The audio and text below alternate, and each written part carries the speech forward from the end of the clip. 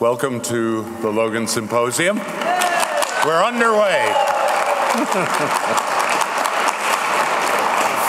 My name is Richard Logan. I'm the president of the Reva and David Logan Foundation. We're the main sponsors here.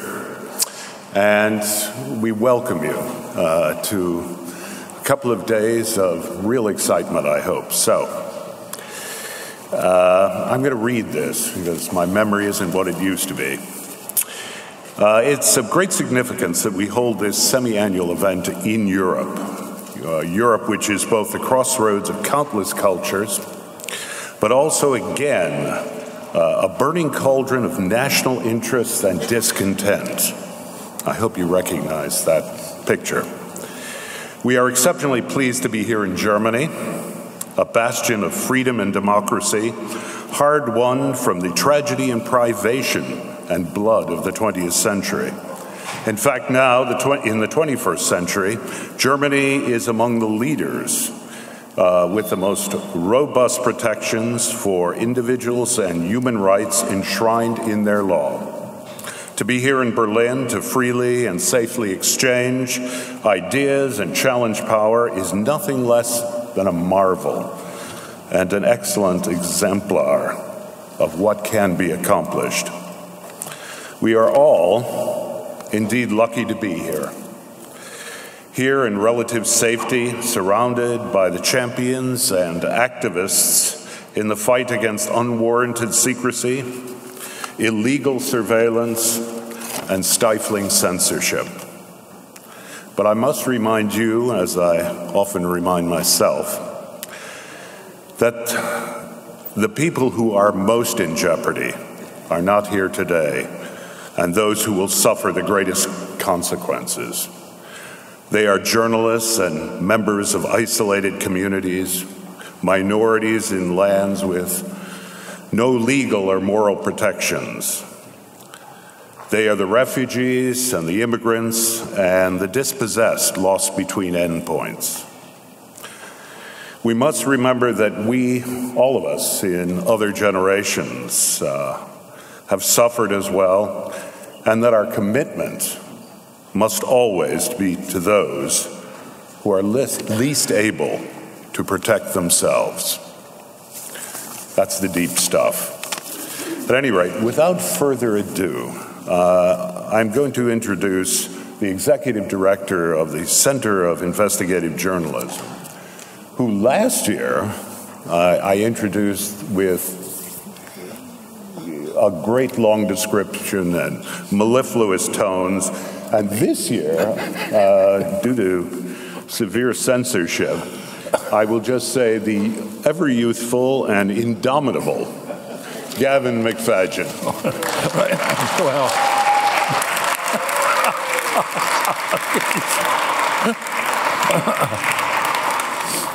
Actually, that's, that's very kind of you. I, if you could repeat that, I'd be grateful.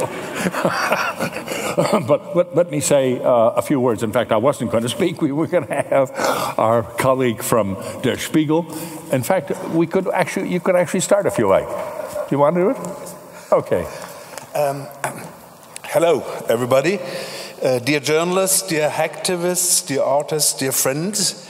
Uh, I would like to welcome you on behalf of the news magazine Der Spiegel, uh, which happens to be the media partner of the CIJ Logan uh, Symposium in Berlin. Uh, I, I, myself uh, am writing and doing research for Der Spiegel since more than 20 years, and so I can reassure you it is not by chance that Der Spiegel is supporting the Logan Symposium as its media partner. Uh, I can remember a cold winter day, not I mean, like, like today, in early 2009, when an old friend of mine, uh, an activist with the Chaos Computer Club, brought me together with a guy who told he was with an organization called WikiLeaks. Uh, back then, hardly anybody had ever heard about WikiLeaks. I, I hadn't heard about WikiLeaks. Uh, but shortly after that first meeting, uh, I got the Spiegel editor um, and in chief and two colleagues to meet that WikiLeaks guy. We had lunch together just a, a kilometer from here in an uh, Asian restaurant. And um, yeah, and that's where a cooperation started between Der Spiegel and WikiLeaks, which is going on till today. Der Spiegel, together with The Guardian and The New York Times, published the so called collateral murder video exposing US war crimes in Baghdad. Uh, other WikiLeaks revelations uh, uh, did follow soon, like the uh, Afghan war diary, the Iraq war log, and the US State Department diplomatic cables. Uh, Der Spiegel, uh, who has been founded in 1946 by a quite remarkable journalist called Rudolf Augstein, has a great tradition in investigative uh, reporting.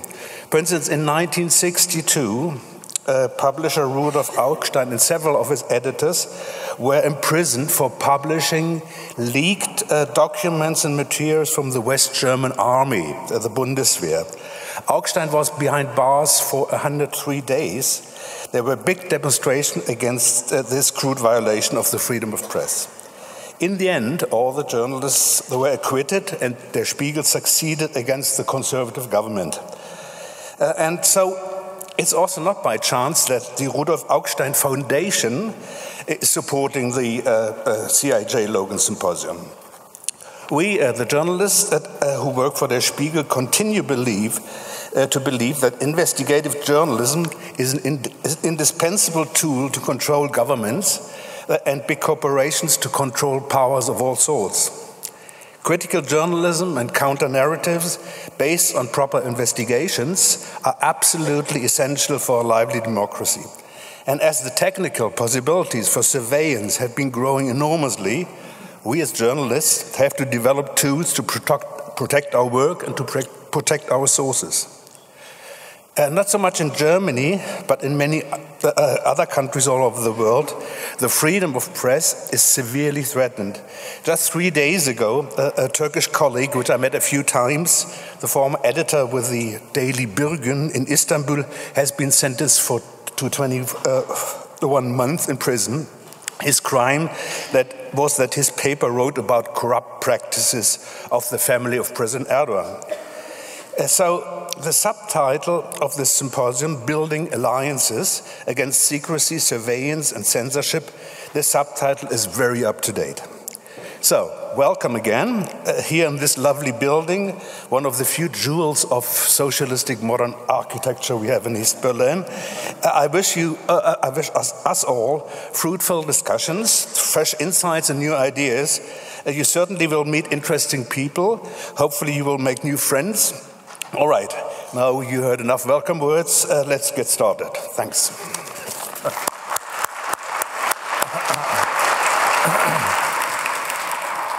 ah.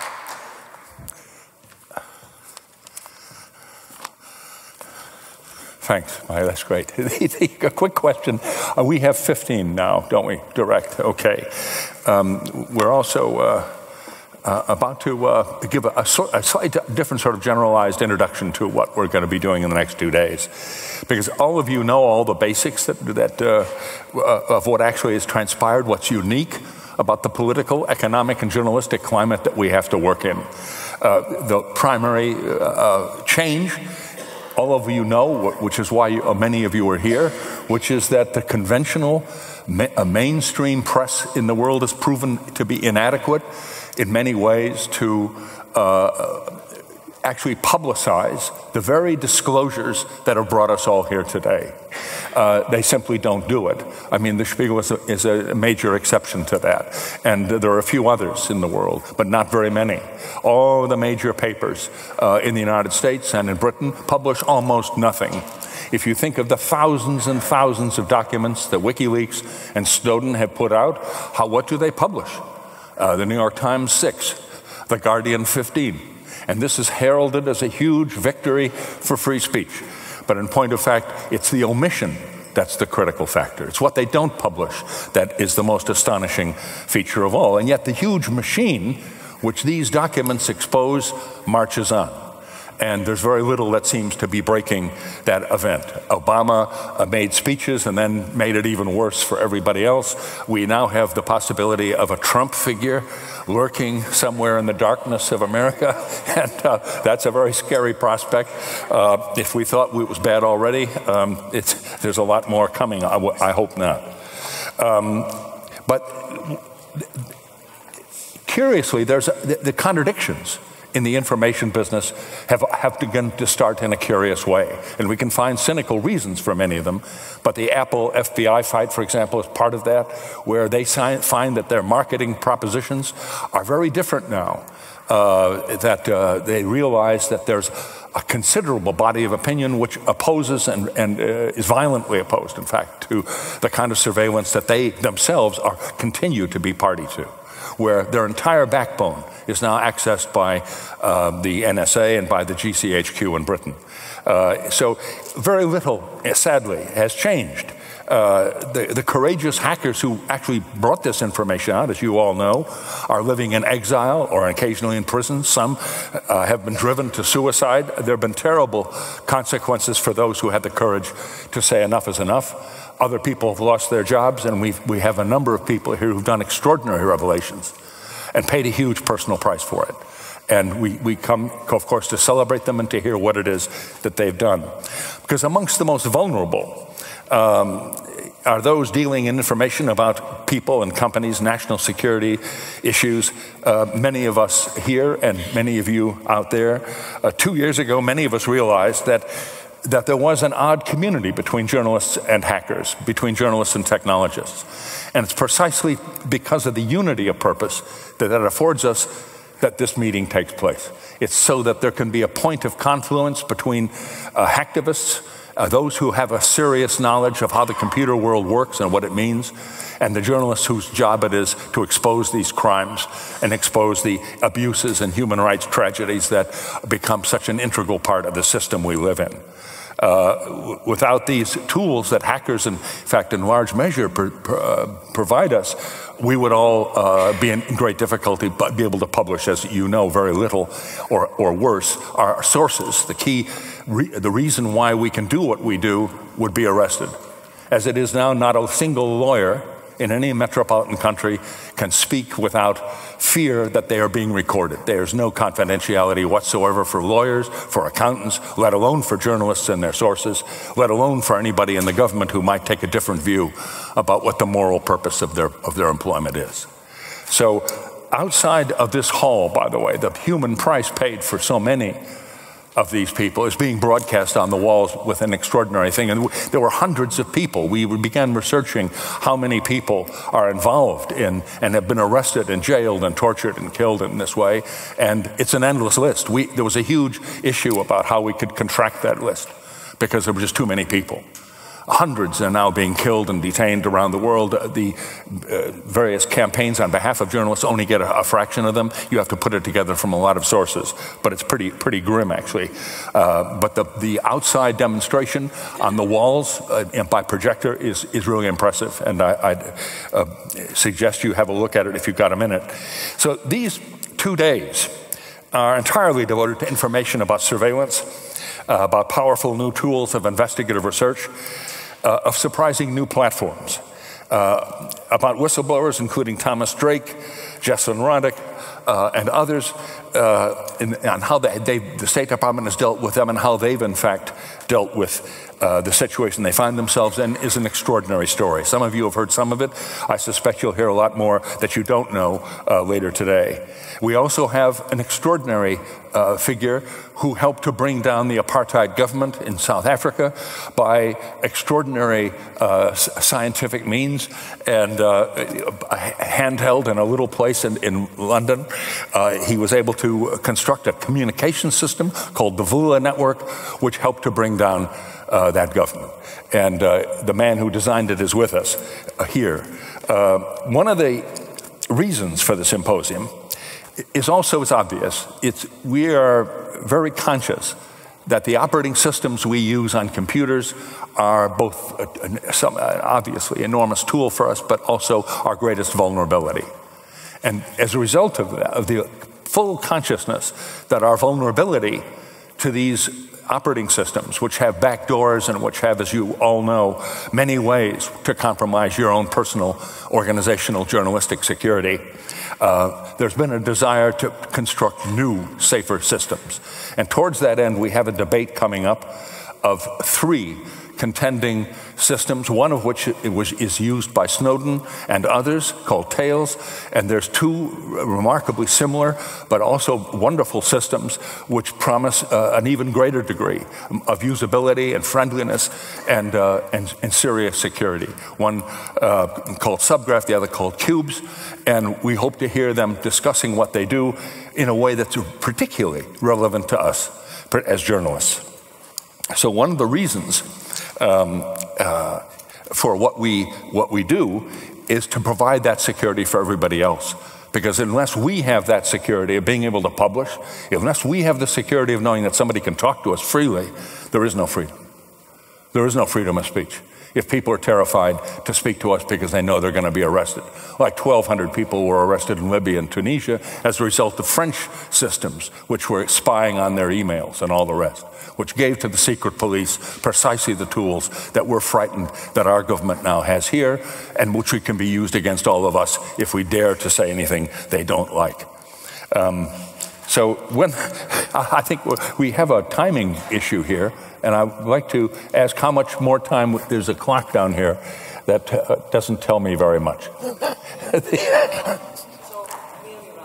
Okay, so I, I was going to say that, uh, in fact, we can, I'd like to introduce our next speaker, uh, and uh, a man who comes really from, from India and is very widely known. He's probably the most widely known journalist in Asia, uh, and not so well known ridiculously here. He wrote an extraordinary book called Everyone Loves a Good Drought. Uh, and, but he's made uh, an extraordinary reputation for himself in India uh, much admired because he was the man who discovered what actually happened to 300,000 farmers who committed mass suicide and have done for the last years, which is the largest recorded suicide in human history. That's going on a short distance from what uh, the newspapers print, which is bling, weddings, celebrity stuff all across India, but nobody was covering the deaths of all these people. And uh, with that end, I'd like to introduce P. Sainath, who could come up and, and, and talk to us. Uh, I would just, I think over here.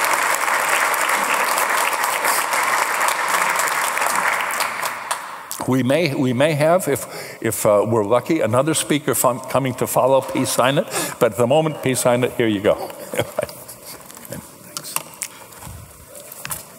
Thanks very much, Gavin. Good morning, all. Um, I'm not wired up. I'm going to speak from the lectern. But 40 years ago, the, the leading orator in my hometown gave me this advice. He still is around and a leading politician. He said, given a choice between speaking from the table and the lectern, always choose the lectern. That way you get to duck better when they throw stuff.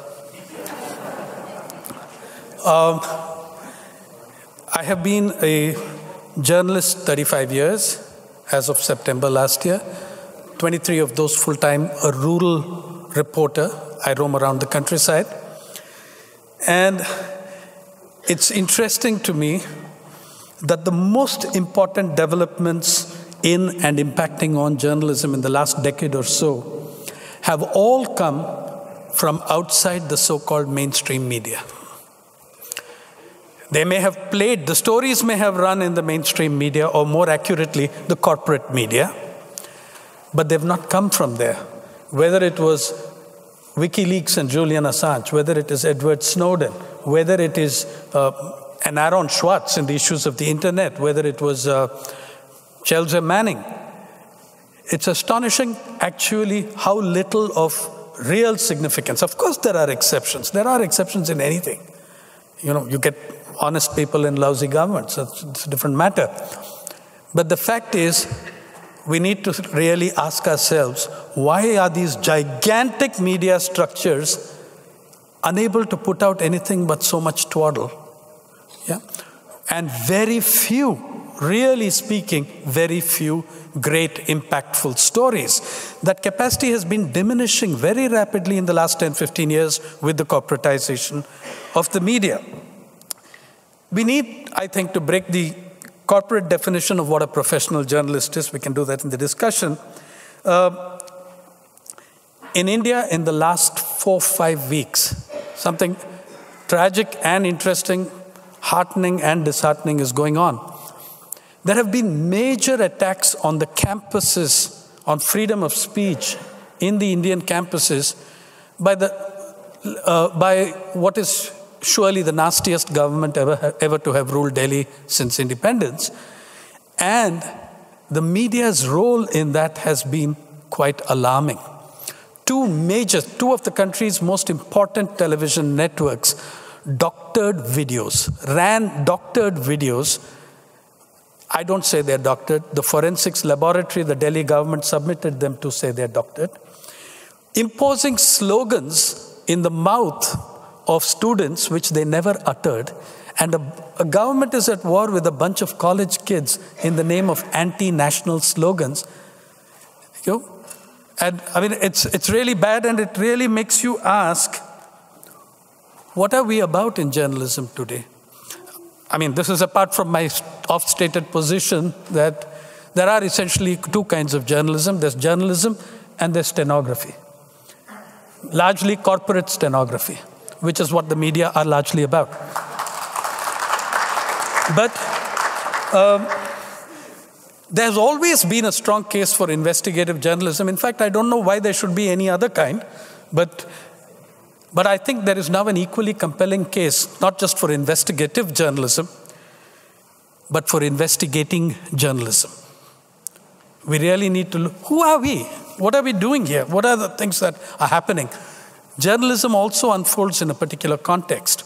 I'm going to talk to you, as uh, Gavin asked me to, about the story that led to the exposure of the farm suicides, which, by the way, government data, National Crime Records Bureau, Suicides data in India are compiled by the National Crime Records Bureau because suicide is a crime. You commit it, we'll teach you never to do it again. And uh, the number of farm suicides, suicides by farmers, which is a high underestimate, terrible underestimate because they exclude very large groups. They almost totally exclude women farmers, for instance, because there is no land in their names. They don't have a, a title deed. Despite many major exclusions of many major groups, the government figures show us that over 300,000 farmers have committed suicide in the last 20 years, between 1995 and 2014. Yeah, that's 300,000. Excuse me. The, and that, those suicides have gone on since 95. In the year in the decade 2001 to 2011, they occurred at the rate of one every half hour. One every half an hour. Okay? We're talking about 300,000 human beings in the same occupation taking their lives. The ratio of the suicides is, in fact, growing because, even if the absolute numbers fall, since the base, population base of farmers is shrinking. But again, I think that journalists, activists, everyone have to be aware of a larger context in which this is happening. Otherwise, if we, if we rob journalism of context, if we rob the stories of their context, there's no point to them. It's just like there's a disease or a plague going on. What is going on is the most incredible concentration of wealth in the history of the Indian Republic since it gained freedom in 1947. If you look at the Credit Suisse, the Credit, Oxfam came out recently with its inequality report. And one of the things, it's based on data from the multinational bank, Credit Suisse.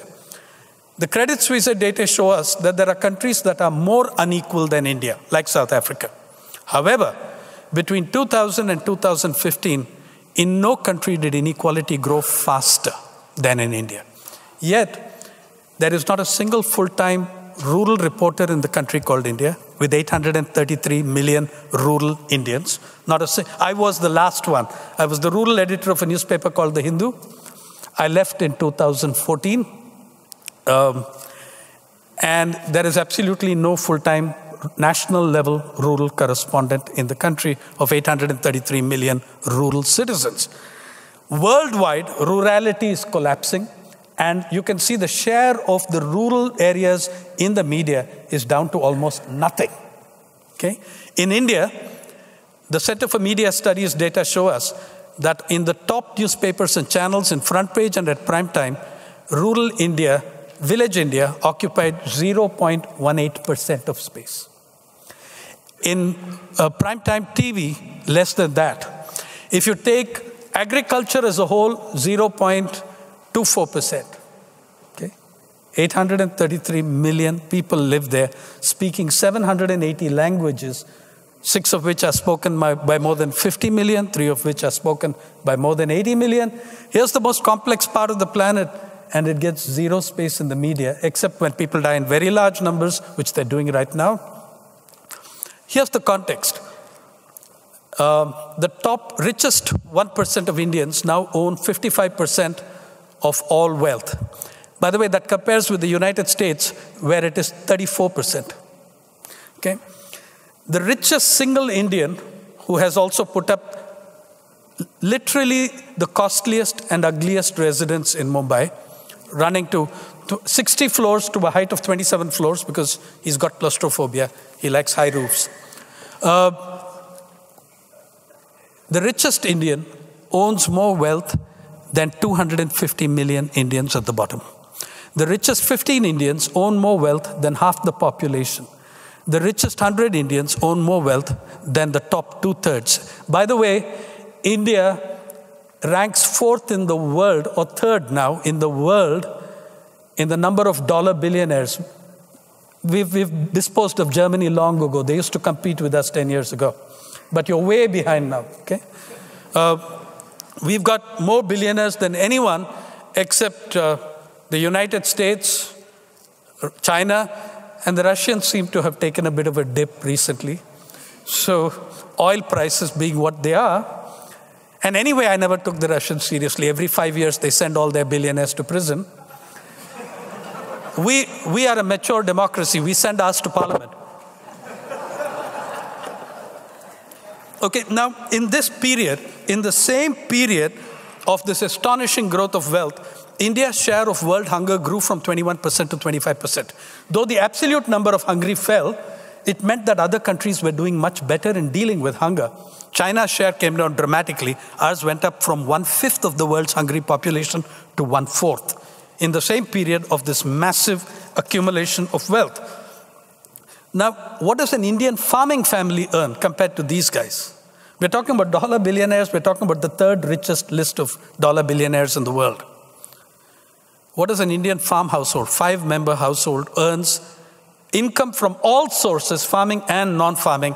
The average income is $95 a month for a family of five. So at one end of the spectrum, you've got the world's third biggest list of dollar billionaires. At the other end of the spectrum, millions of families whose average income is $95 a month for a family of five from all sources for farming. Suicide rates amongst Indian farmers are a chilling 47% higher than for the rest of the population minus farmers. Of course, the government will interpret this for you differently, and they've got lots of columnists whose, you know, who, whose ass has never left the seat in their newsrooms to interpret it to show you that it isn't so. Yeah, you've got. A, the, I'm saying, look at the role of the media now. It is to you know, it, it's, it's a reversal of the to afflict the comfortable and comfort the afflicted. They've just turned that on its head. Okay? Suicides are occurring on a shrinking farming base. So the rates are in fact growing higher. Let me give you the number. Between the 91 census and the 2011 census, India lost 15 million farmers. That's more than 2,000 a day. Where did they go? most of them have fallen into the ranks of agricultural laborers. That is, your full time farmers have fallen into the ranks of the agrarian underclass. They've become agricultural laborers, 2,000 a day. You do the math 20 years, 15 million. 7.2, 7.2 million in the first 10 years, 91 to 2001, 7.7 million in the second 20 years, and it is still going on dramatically. Maharashtra, the state of, you know, you're all familiar with Mumbai. Mumbai belongs to a state called Maharashtra, a state of 115 million people, and where two thirds of our billionaires have an address. They, that's their home, at least on their passport address. Maharashtra has a suicide rate, as of 2011 census, of 29.1 per 100,000 farmers. Okay, it means that an a farmer in that state is three times more likely to kill himself than any other Indian citizen other than farmers. There's another state which has a figure of six times more likely to kill himself or herself than anyone else. Um, and all these numbers are coming despite, unfortunately, as Gavin said, I was the guy who broke that story. I'll tell you how it broke, it's, it's astonishing. And uh, when we broke that sto story, it's become a politically uncomfortable thing. Governments have started declaring zero farmers' suicides. I mean, you can't have such a situation, I'd love it, but they're declaring zero suicides. 12 states and six union territories. We have 29 states and seven union territories, out of which 12 states and six union territories last year declared zero. The government of the center has reorganized the entire methodology of the crime base, of the crime, uh, of the crime database, in order to show lower numbers. And still they commit suicide. Okay? Now you're looking at an unbelievable tragedy. The farm crisis is not, the suicides are not equal to the farm crisis. The agrarian crisis is much larger than the farm crisis. For every farmer who takes his or her life, there are a million who don't, but who are in equally a miserable situation. However, today, in the time, I'm talking to you about the farm suicides. Um, the, as of 2014 June, uh, January, the number, total number of suicides crossed 300,000. Uh, how do they how do they fiddle the numbers? Look, there are media organizations with incredible resources not putting on a single person to look at what is being done in Delhi. They don't need to go to the damn rural areas. Okay, now all these states that have started cutting down the numbers of suicides, do you know how we can find out how they're fudging it? Like any other column of mathematics, there's a column at the end called others. So look at the fun. The second worst state in the country Karnataka sees a dip of 90% in farm suicides in the year 2014, but the others column increases by 245%. There are five states that, this is the latest data, there are five states that account for two thirds of all the farm suicides. And by the way, they're all high commercial crop green revolution areas, all of them. Hmm? And uh, they have seen a decline of so, so many thousands of suicides last year. However, the others column has increased by 128%. So you know where the bodies are going. Because the total people, guy kills himself, he kills himself. That number's got to be somewhere. Apart from this, we don't record, very marginally record, women's suicides as farmers. We record them as women's suicides. We don't accept them as farmers because they traditionally, they don't have property rights in land, not by law, but by custom. Uh, you can ask me about that if, if you like. But the picture of inequality that I'm trying to give you, I think is best given to you by a picture. Okay? Uh, can I have that operational? Okay, I'll, while someone gets to it, I, I, I continue. Uh,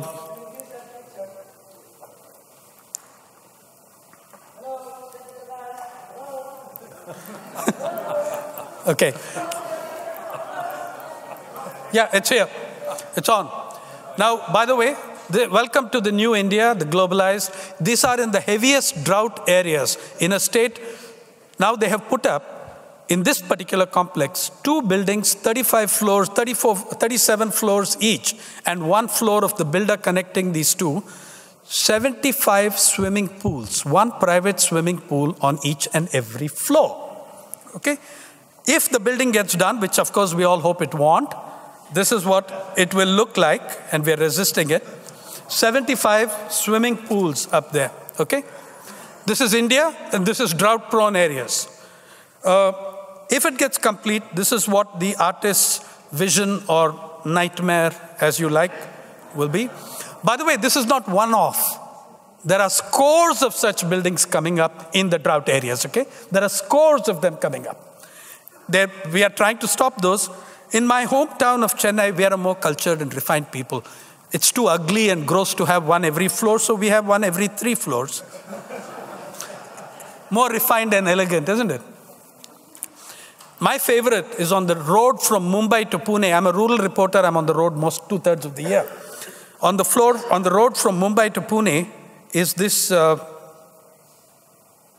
lovely sign villas, luxury homes with attached forest reserve. Okay? You know, in that state of Maharashtra, the damn tiger doesn't have an attached forest reserve, but, but the builders do. And if you think it's just us, okay, if you think, by the way, two kilometers from the board, this is how poor Indians actually collect their water, right? And if you think it's just us, London, here we come. This is a building coming up not far from where Gavin will be. So you can always get there, Gavin. It's across an avenue, a pure glass pool. So you can swim and tell the guys in the look at all those little people down there in the traffic. And look, you cannot deal with the issues of poverty and deprivation in the world today if you do not understand and engage with the issues of wealth and concentration and inequality. If you don't do that, you're not doing yourself or your readers or your viewers any favors. Okay? So that, that is that's some of the little stuff I wanted to show you. There are lots of other slides, but we don't have time for that. In the farm suicides, four five stages go through with governments. The first is Nonsense, nothing of the sort's happening. Then stout denial. Then, yeah, there is a problem, but you know, all these guys, you know, there is there's some depression problem. They try medicalizing the suicides. Every suicide has an element of depression in it. And if you were bankrupt and your field was taken over, you'd be depressed too. Yeah, then comes the explanation from experts in the newspaper that look at the documents given rise in uh, alcoholism these guys are killing themselves. They're all drunkards. They drink too much. They kill. The problem with that argument, as I keep telling the editors, is you know, if alcoholism was the major driver of suicides, damn it, there'd be no journalists left in the world. and, and very few academics. And no human rights activists at all. Right. So let's skip that one. Every suicide has a multiplicity of factors. But this has come with a package of policies that has unfolded in country after country, nation after nation across the world. Withdrawal of the state from sectors that matter to poor people, imposition of user costs on those who can afford it least, the transfer of resources from poor to rich. 53% of Maharashtra's agricultural credit is disbursed in the metropolis of Mumbai. What sort of farming do you have in Mumbai? Okay? Agricultural credit, not rural credit, is disbursed. 53% of the state of Maharashtra is disbursed in Mumbai. These are things for journalists to do, to be telling their readers. And by the way, there are lots of journalists who try doing it, but can't, it won't fly in their newspapers. It won't fly in their channels. Okay? Because they won't get published. There are hundreds of young journalists who have tried telling the story of the farm suicides. I was privileged. I came into journalism at another period and was able to get away with a lot because I was senior to many of the editors, you know, who don't want to carry such stuff. A, a number, of, and then the fourth factor, uh, worldwide, the privatization of just about everything. Okay, you've had fifth, the rise of market fundamentalism. Sixth, the stunning inequality that accompanies it. All these went into sets of agricultural policies that directly favor agribusiness over agriculturists. Right? So, so remember, eh, eh, the, the same principles, a lot of people don't realize this. Farm suicide rates are very high in the American Midwest. They are very high in France as of now, which has been seeing a large spell of farm suicides. They're nothing compared to India, but then, oh yeah, if you look at the cotton growing nations of Chad, Benin, Mali, Burkina Faso, two of the presidents of those countries wrote an article for the New York Times, which the Times condescendingly, I think, published as a letter. Your subsidies are strangling our people. A whole bunch of policies in the name of market, in the eh, essentially neoliberal programs, have devastated small farmers all across the world. You're looking at, in your time, and this is a context, the collapse of rurality and the final assault on smallholder farmers. And please don't allow anyone to tell you lies about this. Even today, 70% of the world's food comes from small and family farms. We don't see it, it's not so visible because most of those are subsistence farmers. The farm food is consumed on the farm. It doesn't come out in branded names on the supermarket shelves, so you don't realize it. But 70% of the world's food still comes from small and family farms. And Part of journalism's task, I believe, is to cover what's happening to smallholder farming and the giant behemoth. Look, we've all covered the Arab Spring, and many have romanticized the role of Google and Twitter in it. Please look at the role of food companies, agribusiness companies, and food, food control processing companies before that uprising, where you saw 85% increase, percent increases in the price of the basic bread that Egypt consumed. Ask yourself, the people didn't come out of there because of Google and Twitter. If they did, why aren't they doing it now? Okay? You had very real, solid social and economic compulsions behind people coming out and protesting in such large numbers. In India, the imposition of neoliberal economic policies sought to huge cost increases for the peasant farmer the input cost for cultivation of 1% of for one acre of cotton has risen by between 300 to 500 percent. By 300 to 500 percent. Yeah. So we've had um, um, massive indebtedness as a result. At the same time, that the government is withdrawing credit from the farmer and diverting it to agribusiness corporations. This has happened in country after country after country in the world. It's not just in third world countries. Please understand you're watching a life and death struggle of small farmers, smallholders all over the world against corporate agribusiness. This needs to be investigated. It needs, we need to investigate the human condition. The privatization of water that is happening in country after country is also affecting the small farmer massively. Diversion of water to industry, diversion of water to, the, to our swimming pools. Let me tell you one word about who are the laborers who build the swimming pool. If you're the kind of journalist I am, you don't go and interview the builder, which I believe the Guardian did for this story, but uh, you go and talk to the guys who are building that, putting up that building, and you ask them, and I'm sure they spoke to others also but here's what I found.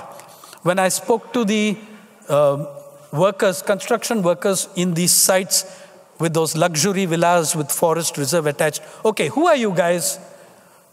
They're all small, marginal farmers and agricultural laborers who have fled their villages because there is no water. Their farming has collapsed because there is no water, so they come to the cities to build our swimming pools. Okay? Look, there is a moral dimension to what we call investigative journalism. And if there is no moral dimension to journalism, then I don't want journalism. It's, that's, it's extremely.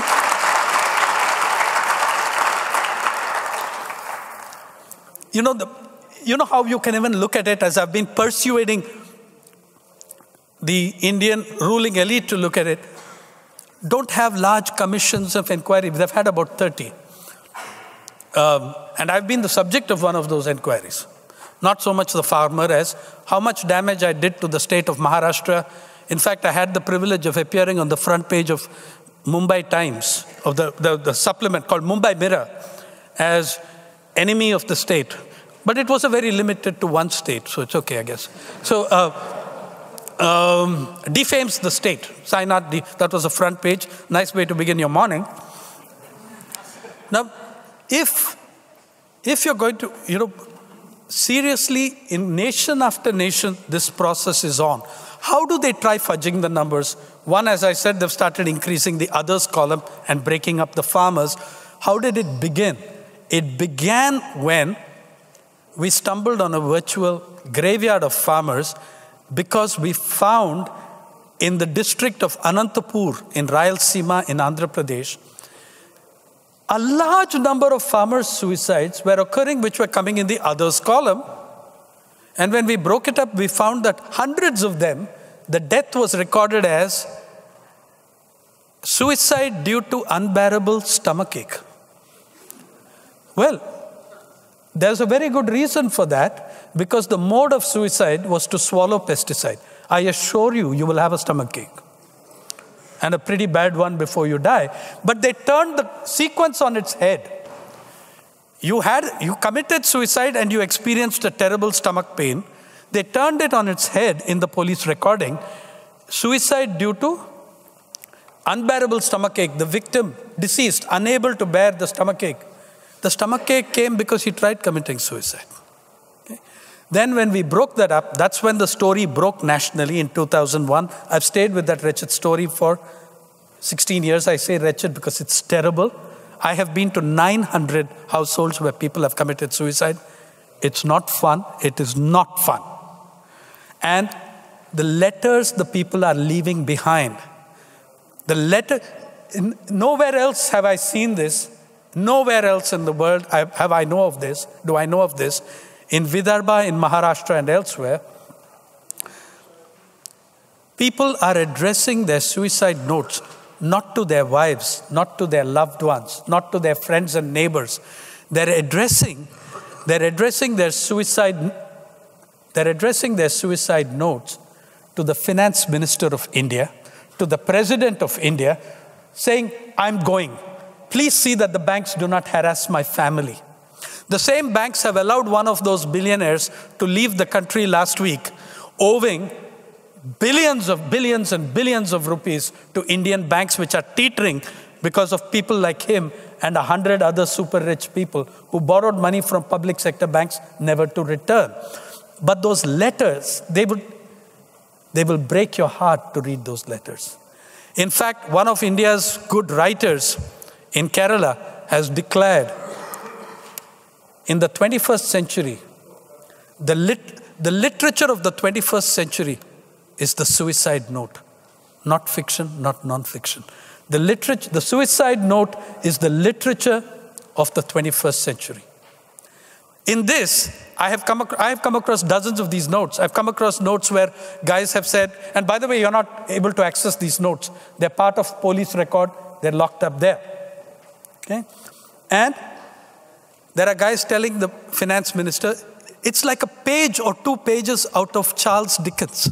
The kind of the kind of experiences with money lenders, the kind of experiences with the banks, you know, it's like a page out of Dickens and, and worse. If you just, they are telling you the reasons. They are telling you that you have made farming for small farmers unviable, unbearable. We can't take this anymore. Imagine that they're addressing their notes to the prime minister of the country, not to their wives, not to their children, but to the finance minister in the hope that some they recognize what we are refusing to recognize that these calamities are driven by human agency, by conscious policy. There may be many factors, but many of those factors are grounded in these kind of in these kind of changes. As I said, even in Western Africa, this subsidies from the West to corporate agribusiness is one of those factors. The presidents of Mali and Burkina Faso wrote a letter to the New York Times. Your subsidies are strangling our people. Okay? My, the, leading, the leading intellectual in Western India on the farm crisis, his name is Vijay Jawandhia, he's an old friend of mine keeps reading up all the new subsidy news from different parts of the world. One day I was there when, you know, there was this young reporter who asked him, Mr. Jawandhia, what is your, you know, he was looking at all the figures of $3 a day per cow, those kind of subsidies. This was 2005 6. And when asked, Mr. Jawandhia, what is the dream of the Indian farmer? He said without hesitation, the dream of the Indian farmer is to be born a European cow. Okay? And you have, but going back to the notes, going back to people, going back, doing shoe leather journalism where you listen to people and what they're telling you. Okay? There are three, I'm going to conclude with the thing that there are three, four um, things within journalism that have been happening, shaping it very dramatically. One, as I said, we are down to either journalism or stenography. We all know about the corporatization of the media, but the extent to which that corporatization is socializing entire generations is something I think we really have not looked at seriously enough. The second is whether in America, and I suspect in Europe, PR jobs are outpacing journalism jobs. Public relations jobs are outpacing journalism jobs at the rate of three to one. You'll find Robert McChesney giving you those figures in his book. When the Gulf oil spill took place, David Barstow of the New York Times wrote in the Columbia Journalism Review that there were far more in the hearings that followed than Coast Guard's hearings. There were far more public relations operatives in the hall than there were reporters. Because they were there, the reporters were there supposedly to ask questions. The PR guys were to figure out nice, smart answers to give. Okay? So PR is, ta- and that's apart from all the other journal, from all those journalists who function as PR agents anyway. Yeah. So we, you're having a serious, serious crisis of journalism, a moral crisis of journalism, if you like, plus the social and economic one. We are in the period of the greatest inequality this planet has seen since the Great Depression. We are in an inequality which Oxfam has summed up for you from Credit Suisse data that 63 individuals own more wealth than half the world's population. Okay? You are in an incredible situation of that. If we choose to treat journalism as a craft, as a business, as a revenue model, I think we're doomed. Okay? There is something that goes beyond journalism. Newspapers are a business, right? Television is a business. Journalism, journalism is a calling. You do it because it has to be done. It summons you to do something. Throughout, by the way, I end with what I began. I said that all the great things in journalism came from outside the so called mainstream or corporate media. Historically, that was true as well all those great journalists were amateurs. Thomas Paine, okay, or a Gandhi or an Ambedkar, who earned their living as journalists, who produced 100 volumes of collected works each, more than any living journalist can claim. Journalism, art, literature did not come from the investments of any corporation. They came out of communities and societies. We need to take them back to communities and societies. I think we need to investigate, to do investigative journalism, and we need to investigate journalism. Thank you very much.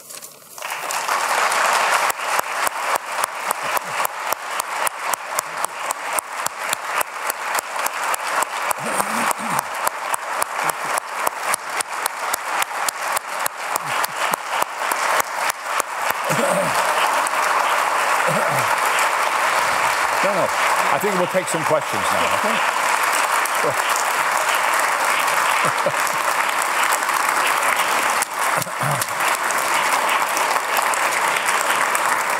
We have time for questions, and uh, we'll happily take them now. Ooh. Let me, let me make a quick a set, a, a, couple of announcements before we go on. I've been asked to mention that uh, there is a roller outside which is being projected on the walls of a very high standard of extremely interesting material of uh, the prices that have been paid by hackers and journalists to do the work they do and all the, the, uh, the ghastly results of it. And that's on, on the wall going outside. It's done by Nadine Anelkin, uh, and it's uh, really worth having a look at. We have an anonymous artist uh, in the coffee area, and that's worth looking at absolutely as well. Uh, and in the phone, there'll be a phone installation of the Peng Collective. Um, And I'll leave that to, for you to find out because it's actually quite interesting and unique, uh, and it's well worth seeing. But having mentioned that now, um, I think if anybody has questions, let's, let's have them for P. Sainath. Okay, this was one, one coming there. A very simple question. Yeah. Take them from here. Sure, yeah. Hello, and um, yes. Very simple question about I'm a documentary filmmaker, and um, uh, you spoke about investigating journalism. Sorry, spoke about? You, the last thing you said was about investigating journalism also. Yeah. Can you uh, expand more about this? Okay. It's, very, it's difficult also. So. Okay. But Um, right, I'll, I'll do that. Can I take two more questions and answer three? Are there more questions? Yes.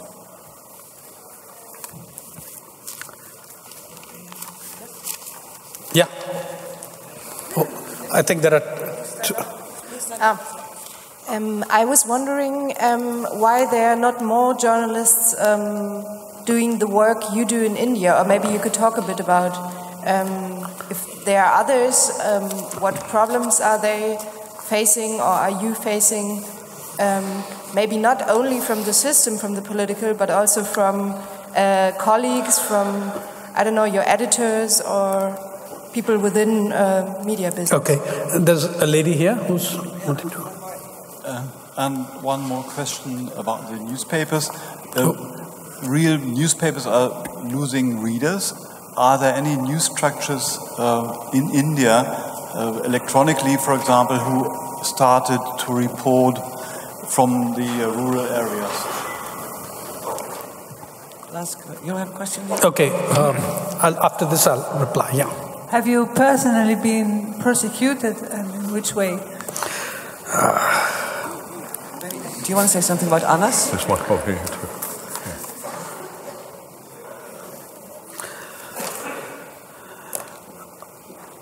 About investigating journalism itself.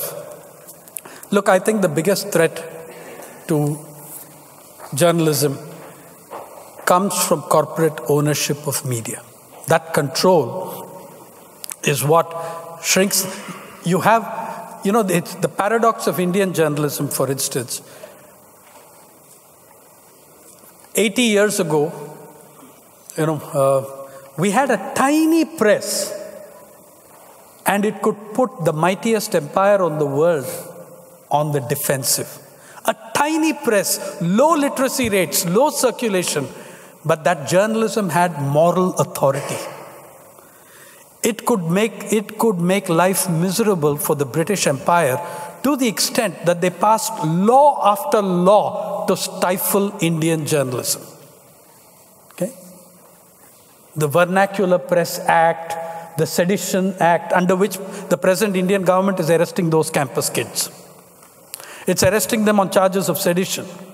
Okay? So, such a tiny press could make such a large empire defensive. Today, a gigantic media serves a narrowest so- social function. Then a tiny media served a huge social function. Now a gigantic, gargantuan media serve the narrowest of social functions, which is profit for their corporate bosses. Okay? So that is the paradox of Indian journalism. And when I say investigating, let me put it this way. Today, in the neoliberal packages and policies that many of us have simply accepted as a given, there is no alternative, it's going to happen. The fact is that media corporate owners are amongst the biggest beneficiaries of the policies of privatization in India. If we privatize spectrum, for instance, if we privatize spectrum, Tatas, Ambanis, Birlas, um, all these guys are major players in the media, one way or the other. The Ambanis and Birlas are major owners of media. They're going, you know, Ambani is that guy who has more wealth than 250 million Indians, right? Man, Berlusconi is nobody. Right. Now, this guy has more wealth than 250 million Indians and owns the largest news network. the Network 18. He owns more channels than he can name, honestly. He doesn't know them, but because he owns whole groups. Now, when the beneficiaries of the rotten of the policy structures that are devastating farmers and agricultural laborers when the beneficiaries are include major media owners how the heck are you going to get serious coverage of it? You're going to get stuff like me being enemy of the state. Okay? That's what you're going to get. So and you and you're going to get guys from you know somebody with a degree from Harvard Business School telling me that you don't really understand economics. You see, the farmers are dying because he won't recognize a farmer if the farmer kicked him in the slats. Okay, but but that's where he is. I mean, that's what that's where the publicity goes. That's where the coverage goes. Also, when investigating journalism, we did that in 2009 inside the corporate media, within the mainstream media we exposed the largest ever, ever existence of selling editorial space, particularly during election times, for off record payments. You can look up the scandal, you can do a search, it's called paid news. I coined that word for it in 2000 in the 2000s. It appears as news on the front page. It's entirely the product of one political party or individual paying for that in millions to the newspaper as part of his election campaign. Do you know what happened? When we, when we did it, it was recognized. They all threatened, uh, threatened me with legal notices, not one came. I was desperate to get one. I wanted to bring those media bosses into the court to cross question them. They sent notices after no- I mean, they threatened notices like anything from every media channel, but they never did it. Now, um, the Press Council of India took note of the scandal, ordered an inquiry. The inquiry did a fantastic job. Inquiry was headed by a colleague called Paranjoy Guha Thakurta. Paranjoy Guha Thakurta, who I'm happy to say has since become the editor of the Economic and Political Weekly, India's most respected academic journal, but not in the mainstream media. Hmm? Paranjoy Guha Thakurta and Srinivas Reddy produced a devastating report going beyond the stuff I'd written, confirming everything I'd written and a couple of others had written. Do you know what the press council did? It suppressed its own report. It suppressed its own report, saying a 72 page report became 12 pages and all the names. Because my point was that the only way you're going to get through this is to name and shame. Okay? They, all the media owners sit on the press council. They have representatives. They got the names removed. Later, the chairman of the press council changed. A Supreme Court judge came in who put up the report online. He, he brought it out, and nobody covered it. Few paragraphs here and there saying it's out there because you'll be then taking on really big names. So you need to keep investigating journalism regularly, stringently. Second, um, you know, many of those you said in journalism facing political and other pressures. Look, I, I have a, um, a sense of this that India is somewhat different. As one of my friends put it the other day at a meeting of the Mumbai Collective, in India we have freedom of speech. We don't have freedom after making the speech. okay? So we get to say anything we like, and the nature of the legal process, the nature of the legal process is that your grandkids and mine will be fighting that case. Right? So it'll, it'll just go on forever. However, they are now using, they are now using the Sedition Act. Okay? A 150 year old British act to suppress freedom fighters, I mean, over a century old, to suppress freedom fighters, to brutalize them, the, the grounds on which you can be thrown in jail are incredible, and you're using it against a bunch of college kids. Doctoring videos and replacing what they said with superimposed audio. And that kid, the president of the Jawaharlal Nehru University Students' Union, you know, in his 20s, you use this kind of stuff. The threat to people like me is far less. I would love to romanticize myself to you and tell you how I'm living by the minute and fearing assassination tomorrow. You, I've actually, I, I'm a rural reporter. I feel far safer in rural India than in urban India. In rural India, people invite you without ever having known you before, let you share their meal, stay in their home. Okay, so by and large, it's not that dangerous as one might. Also, let me put this this way how da- what dangers you invite depends on what journalism you do. If you're doing page three journalism, if you're doing society and gossip journalism, there's no greater risk to you than that the leading film star will not talk to you for a week. Okay, and that's the bulk of what's going on. Right.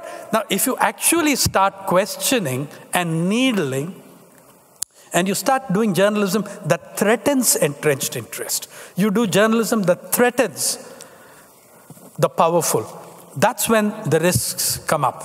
Now, again, India is in some respects a 10% democracy. If you belong to the 10% privileged classes, as I do, These two announcements. you can get away with most everything. You know, I think we are much freer and we can say much more outrageous things, certainly than our colleagues in the US press can. Okay, because getting anything pinned down in the courts is quite an issue in India. So those of us who belong to that 10%, we get away with a lot. So I don't want to exaggerate how much danger.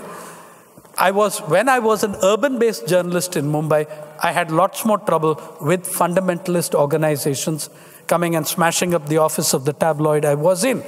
But that brings me to a point that's important for all of you.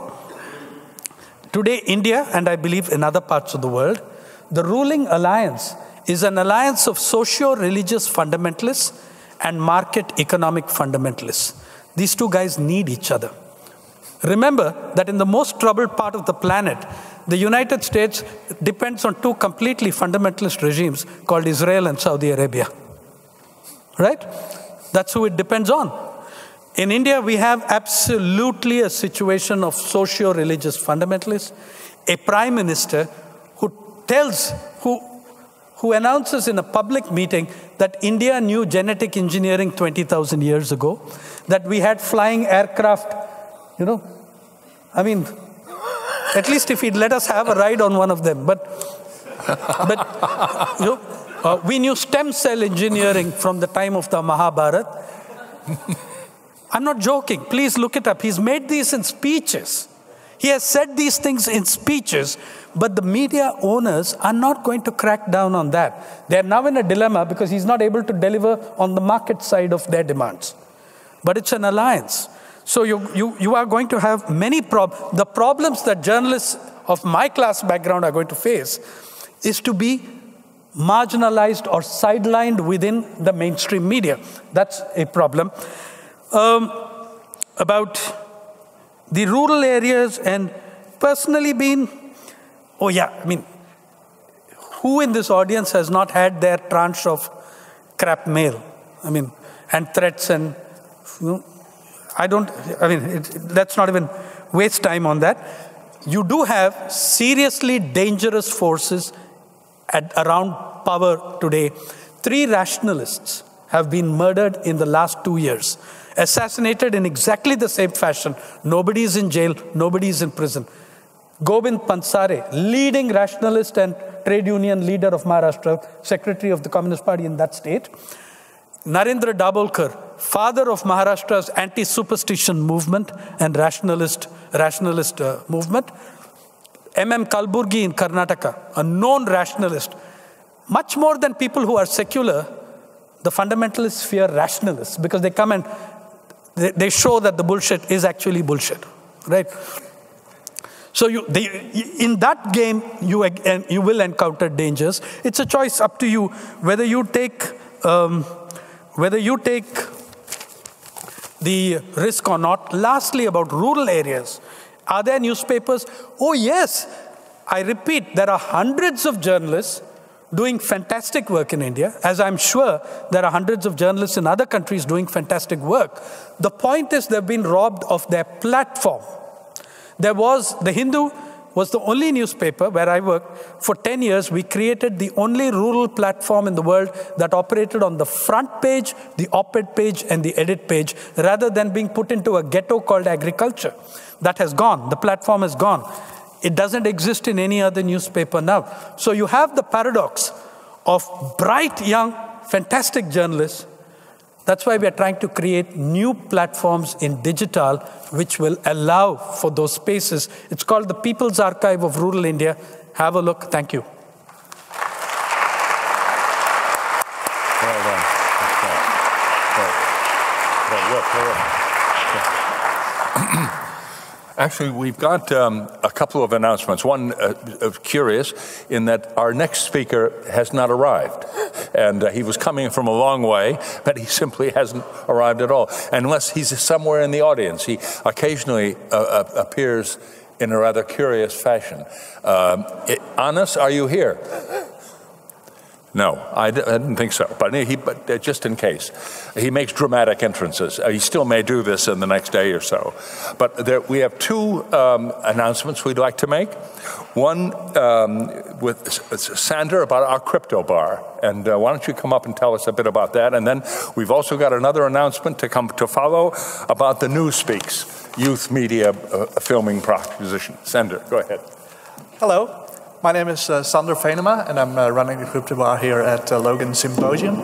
And uh, I figure most of you are journalists, so um, if you're working with uh, confidential sources or you need to keep your communications confidential, who you're talking to, etc., the contents of those uh, things, your files, etc., we offer practical advice and training to how to use tools like email encryption, OTR, chat encryption, um, Linux-based operating systems like Tails that are completely um, you boot it on a USB stick and um, completely self-contained. All runs through the Tor network, so your location isn't um, easy, easy to uh, to be revealed by intelligence agencies and others. So, um, so that's basically what we do. It's downstairs uh, with me and the other volunteers at the crypto bar. So we train people to how to practically use tools to uh, encrypt their communications and defeat surveillance. So um, that was my very short uh, introduction and shout out for the crypto bar. So let me now hand it over to the Newspeak. Thank you very much.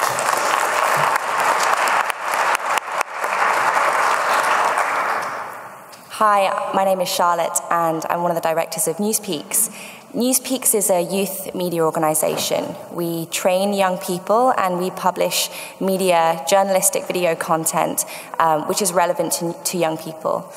And the reason for that is we felt, in the UK at least, there's very, very little media, journalistic media particularly, that represents young people. And where it does exist, it's dumbed down to the point that it's almost irrelevant. And not only that, but the media that, which is published about young people is often very, very negative, and we wanted to do something to combat this. So we set up our own organisation and started producing stories. And we've been running for a little while. Uh, we've produced a few stories. We, we work on the basis that we have a core team and we have a whole satellite of, um, of young people that work with us, contributing stories all the time, coming to us with new ideas.